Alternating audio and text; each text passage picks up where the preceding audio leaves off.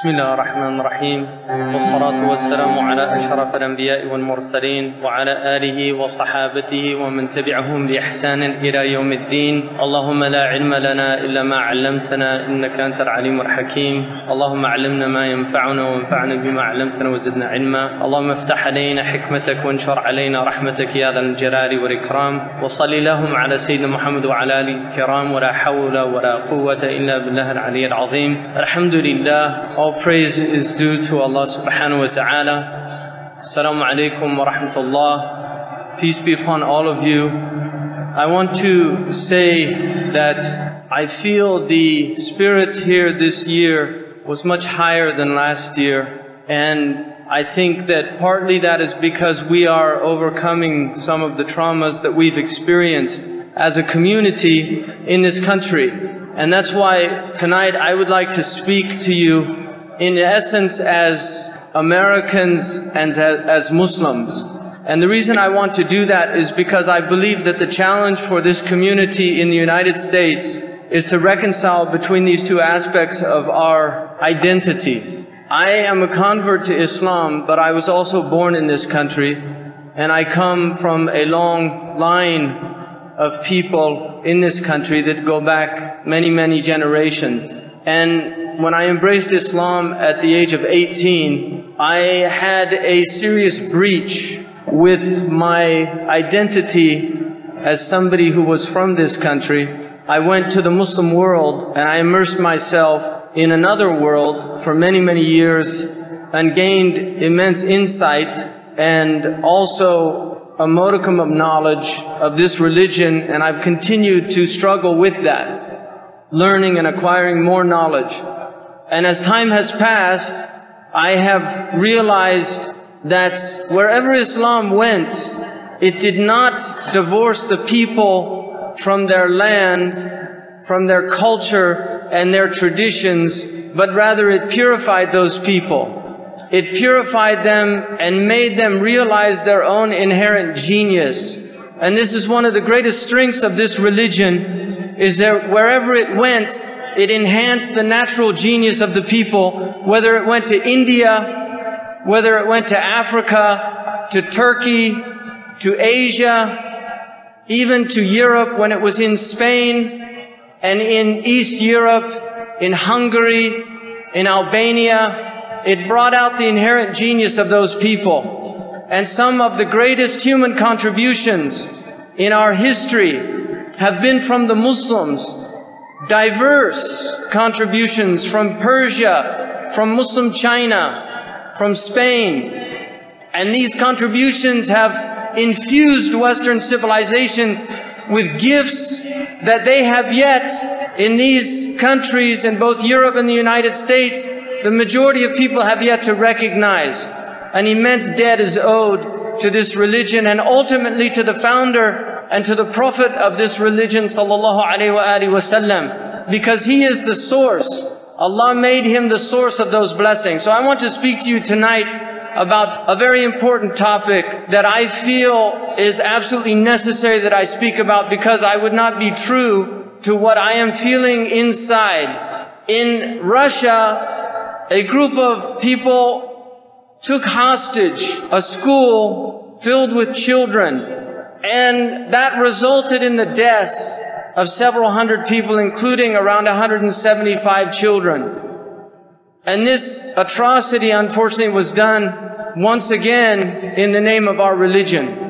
And I feel that we as Muslims are suffering all over because of the acts of a handful of people. And we must, in one voice, condemn and completely reject the concept of indiscriminate killing in this religion. It is neither from the religion, nor is it sanctioned by the religion in any reading of our pre-modern tradition. It is a modern phenomenon.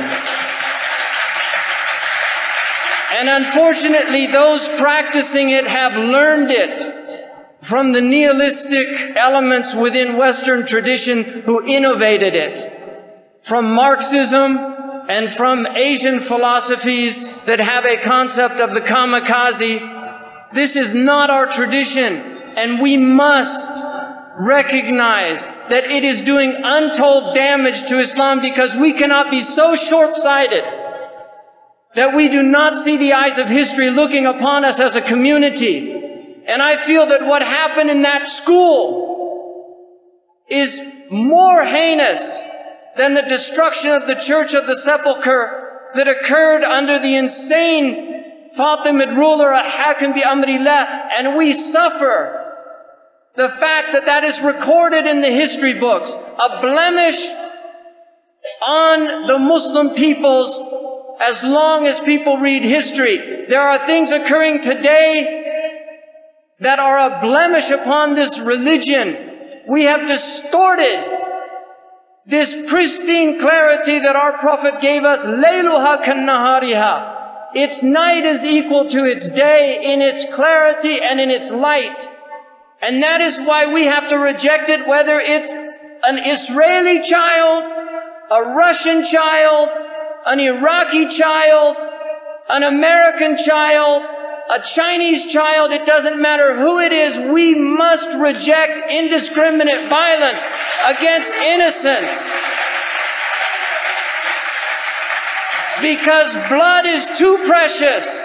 And it is our Lord that sanctified the blood of Bani Adam من أجل ذلك كتبنا على بني إسرائيل من قتل نفسا بغير نفس أو فساد في الأرض فكأنما قتل الناس جميعا and for that reason the sanctity of life we decreed upon Bani Israel and by extension upon the Muslims that anyone who kills a soul without just cause or brigandry in the earth, terrorism, that it is as if they have killed all of humanity. And this is what has happened. We do not count numbers. We do not say they killed 30,000 of us or 3,000. We do not count numbers. Every soul is sacred and this has to be reestablished on the earth. Once again, the teaching of Abraham alayhi salam. The Abrahamic faith share the sanctity of life and the Muslims must assert their Abrahamic truth. We have to reassert to the Abrahamic peoples that we are the last extension of the Abrahamic truth, that there is a God, and that he communicates with his creation, and he calls them to his unity, and he calls them to the highest morality known to humankind, because the naysayers who attack religion are attacking the best of humanity. And it is only the absence of religion in religious people that leads to these type of atrocities in the names of religion. It is not religion itself. It is the misuse, the abuse, and the assault on religion in the name of religion that leads to a hatred in the hearts of other people unjustly towards the highest truths that we as human beings hold. And that is why our Prophet sallallahu alaihi wasallam warned us, إِيَّاكُمْ وَالْغُلُوَّ فِي الدِّينِ فإنما أهلك الذين من قبلكم Beware of extremism in religion. In religion. Because it is extremism in religion that destroyed the peoples before you. He did not warn it if it was not a real and serious threat to the Muslim community. And so we, this is the issue of the age. This is the issue that the Republican Party is basing their entire platform on. Basing an entire political platform in the most powerful military nation on the earth, it is based on the idea that Islamic fanatics are a threat to the security of this country. And this must be condemned. We have a society now that is facing social disintegration. We have the erosion of the middle class in this country. We have homeless people. We have joblessness. We have erosion in our schools of the standards of education that were once the pride of this country that produced the scientists who are now imported from places like India and Pakistan. This is the reality.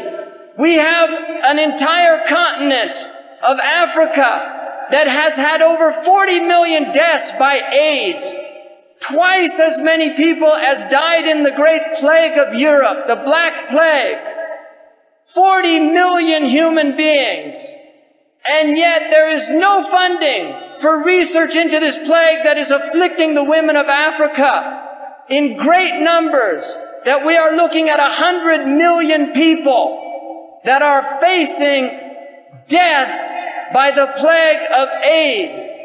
And yet we're spending $500 billion on a defense budget that is nine times greater than all of the defense budgets on this planet put together. That is not right. It's against every principle upon what this country was based. And this is the second extremism that I want to talk about. I believe that this country is being hijacked by a select group of extremists themselves. Islam is not the only religion that suffers from extremism. There is an extremist agenda in this country that is not in the best interest of the United States. And it's the goodness of this people that every war that this country goes to is always done in the name of the highest ideals of this country because the hypocrites that use those ideals for their own advantages know that in the hearts of the Americans is a love of truth, a love of justice, and a love of liberty. And they believe that those should be values and virtues that are promoted throughout the world. And so these people are being abused. The hatred that is being directed towards this country is unjust because the majority of people in this country, if they understood the issues as they should be understood, would not only be ashamed of what's being done in their name, but they would stand up in one voice, and I believe this firmly in my heart, and they would condemn it and reject it. I have never believed that presidential elections, and I am not a politician, nor am I interested in politics. But I have to speak this truth because I have never believed in my lifetime that a presidential election had any significance. I've never seen it as a significant event.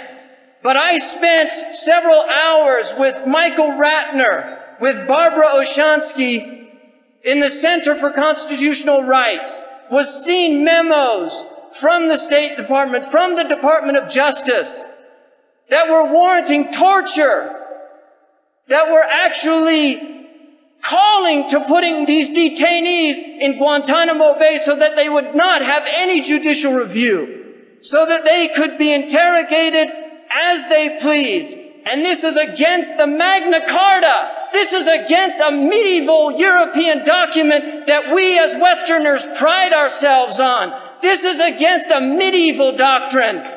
We are living in the 21st century.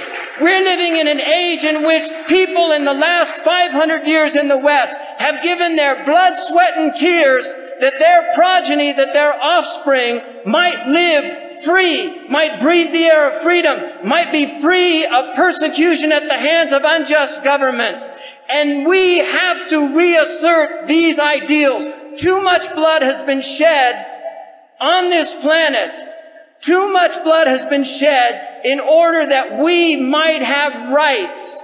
And these rights are Islamic rights, they're Abrahamic rights, and they're American rights. And if we don't stand up for them, then we will suffer the fate of those who are not worthy of the rights that they've been given as we see them taken away from us. We have to stand up for our rights. You should know you are Americans. You have every right to be here. You have every right to dissent. You have every right to speak your truth. Do not be ashamed of being Muslims. Do not be ashamed of being part of a religious tradition that created the civilization of Mughal India, that created the civilization of Andalusia in Spain, that gave the world some of the greatest treasures that we have, whether they be political, whether they be governmental, whether they be legal, whether they be philosophical, theological, and even artistic gems. Even artistic gems. Do not be ashamed of your Islam. Stand up firmly and bravely in the face of what is happening. Stand up firmly and bravely and speak your truth because each one of you is a sovereign state unto yourself. God placed you on the earth and made you a caliph and you have every right to walk this earth and to speak the truth and speak it even if it's bitter because our prophet said, قُلُ الْحَقْ وَلَوْ مُرَّ Speak the truth even when it's bitter. And so I absolutely demand of all of us that we must reject what is happening in the Muslim world in our name and what is happening in the current administration in our name. We have to stand up.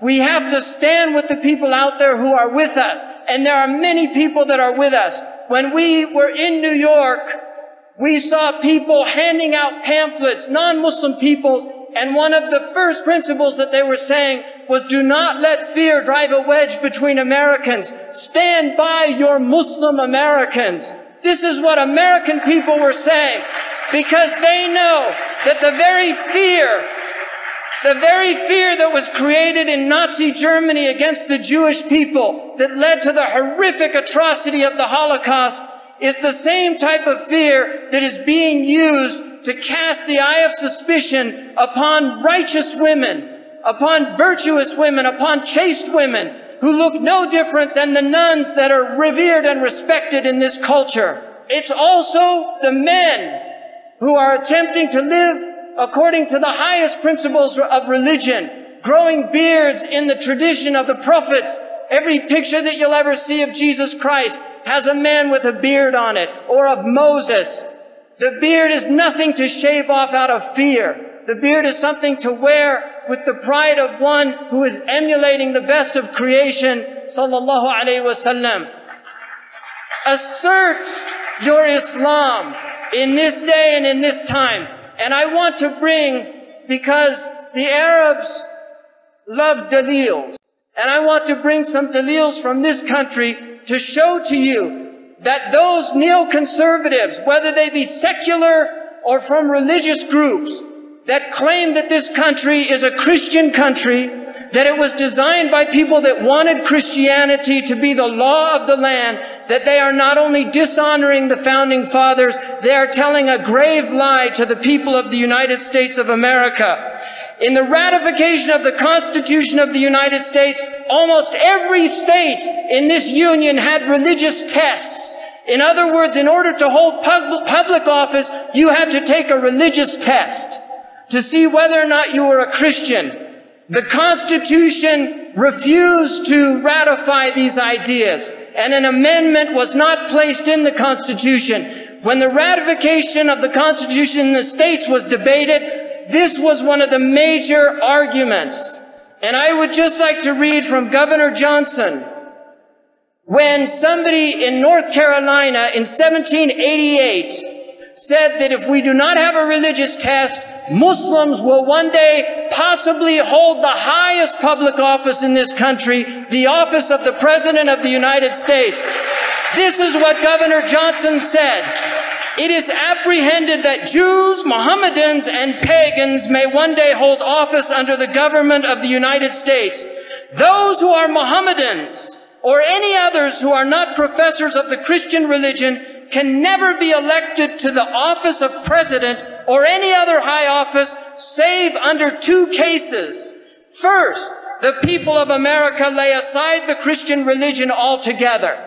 And what that is telling you is that if the Muslims choose a Muslim government or a Muslim president in a Muslim land, they have the democratic right to do that. And so the question is not whether Islam can embrace democracy. The question is, can democracy embrace Islam?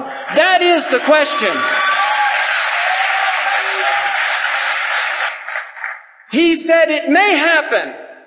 This was the vision of these men. He said it may happen that the Americans do lay aside Christianity. If, unfortunately, it did, the people will choose men such as they think like them. In other words, they will choose the rulers that they want, and that is their God-given right because government is only valid based on the consent of the governed.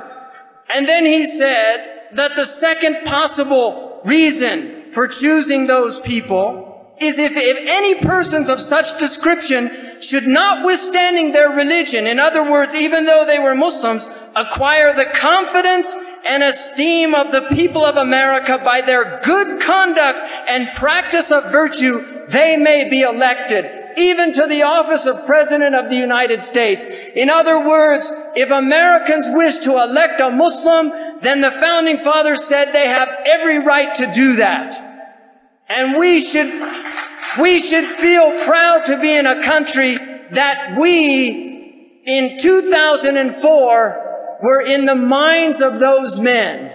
Because Thomas Jefferson said, in the Virginia bill to establish religious freedom, Jefferson wrote, it was proposed that the words, holy author of our religion, be changed to our Lord Jesus Christ.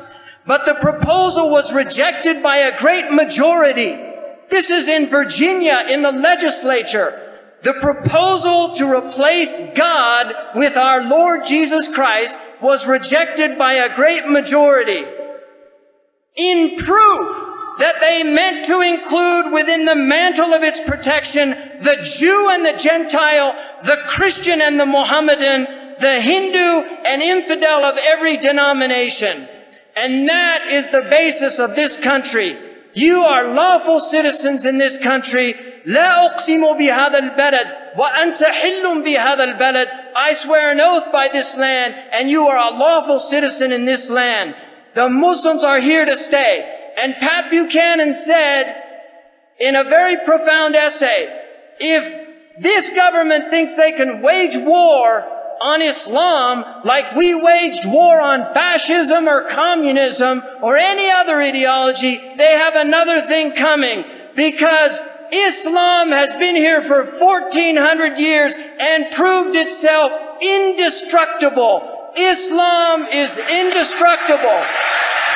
Islam is indestructible. And that is what Pat Buchanan had to say. A respected Republican. Islam is indestructible. So I want all of you to recognize that this country has great ideals. These ideals are rooted in Islamic ideals and toleration is an Islamic gift to the West. And this can be historically proven because the first edict of toleration was the Edict of Torda.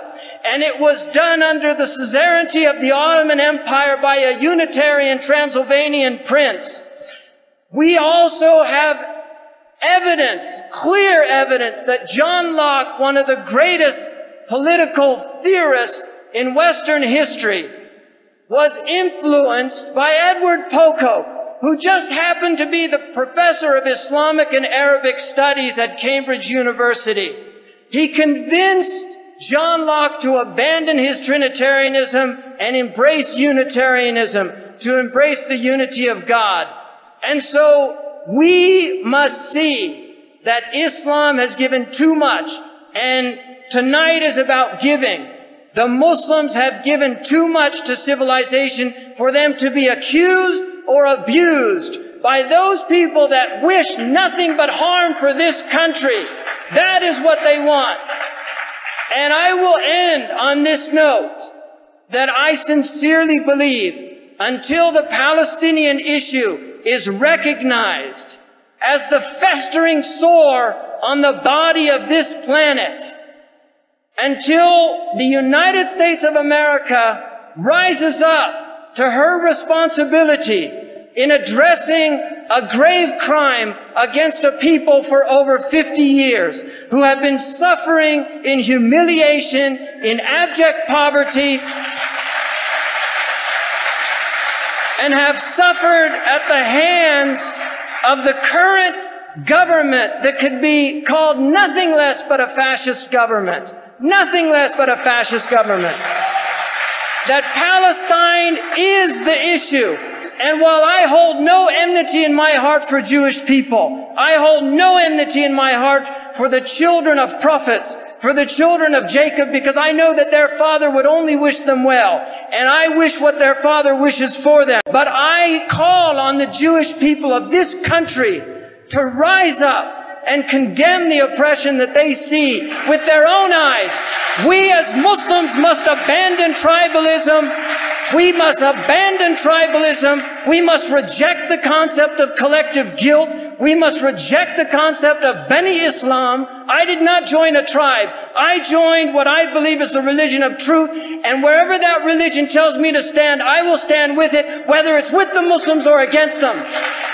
We cannot fall victim to tribal mentalities. We have to reject in our hearts vengeance, revenge for the sake of pride. We have to re- reject this in our hearts and begin to read the Quran as it was clearly intended by the author who we believe is the Lord of the worlds when he said, in the Quran again and again, وَمَنْ عَفَى وَأَصْلَحَ فَأَجْرُهُ عَلَى اللَّهِ عاقبوا بمثل ما عوقبتم به ولئن صبرتم فهو خير للصابرين that yes, you can indeed redress wrongs as you choose, but if you show patience, if you're forbearing, that is better to you. If you forgive, that is better to you. And I was with the parents of Rachel Corrie, who lost their beautiful daughter in Palestine, run over and crushed by a caterpillar tractor built in the United States of America and given as aid to Israel and used as a weapon of destruction against a Palestinian pharmacist who had nothing to do with any violence against the state of Israel, but was being punished for collective guilt, which is a crime against every legal system on this planet. The idea that one holds the sins of another is alien to the Abrahamic tradition. The Quran says, and it's reiterated in the Bible in its Old and New Testament forms, لا تزر وازرة وزر أخرى. No soul bears the burden of another soul. The sins of those Palestinians who are having their trees uprooted, who are having their houses destroyed, has nothing to do with anything other than gross injustice, and we reject it. Just as we reject innocent Jews that are killed in the name of Islam. I reject it. I want to stand by the truth. That's where I want to be. I want to stand by the truth. And I want all of you to stand by the truth and look into your hearts. Take a fatwa from your own heart, even if people give you fatwa. You ask your own heart what our Prophet ﷺ would do. Would he kill children? We only have 500 hadiths that are absolutely of the status of the Quran and one of them says, "Naha Rasulullah sallallahu alayhi wasallam an qatl an-nisa'i wal awlad." The Prophet of God forbade the killing of women and children. The Prophet of God forbade the killing of women and children. The Prophet of God forbade the killing of women and children. We cannot see his name vilified.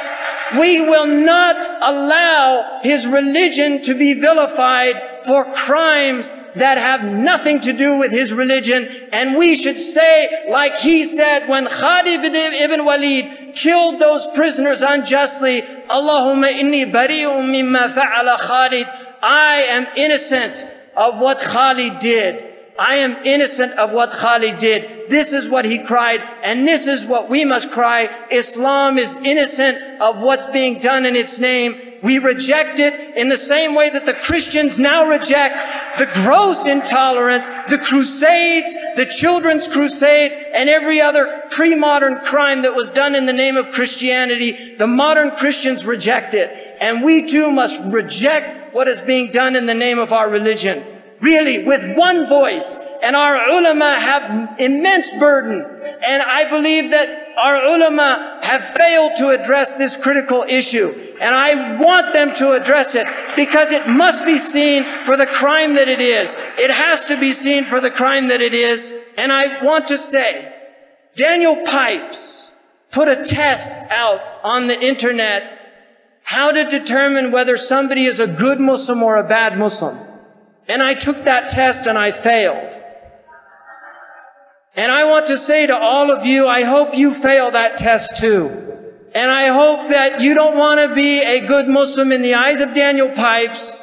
And for anybody here who's representing him, I wish all the best for that man. I hope he's guided. I hope he looks into his heart and really reassesses what he's been doing. But I really want to say that I want to be a good Muslim in the eyes of God.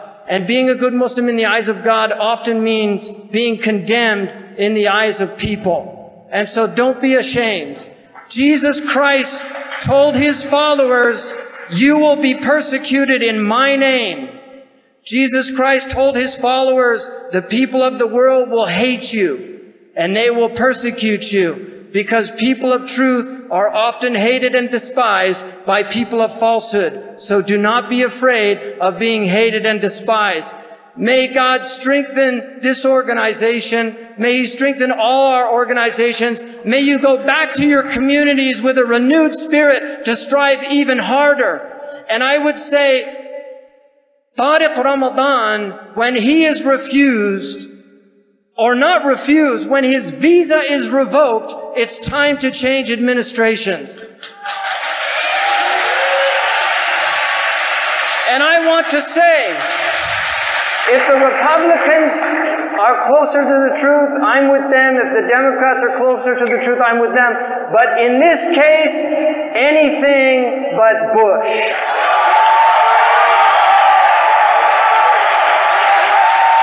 Because this country has to send a message. This country has to send a message to the rest of the world that the last four years were a mistake. Abu Ghraib was a mistake. Abu Ghraib does not represent the good people of the United States. And Abu Ghraib goes right to the top. And just like Truman said, the buck stops here. Alaikum.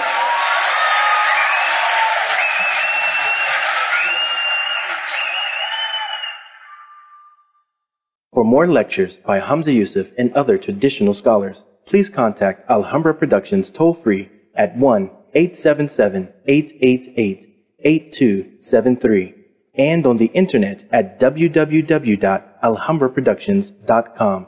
For more information on traditional Islam in America, please contact Zaytuna Institute at 510-582-1979 and on the internet at www.zaytuna.org. Zaytuna Institute is a non-profit, non-political, non-partisan institution. The views and or opinions expressed by the teachers and in the writings, statements, and other audiovisual resources displayed on or linked to its website do not necessarily represent the views or positions held by Zaytuna Institute.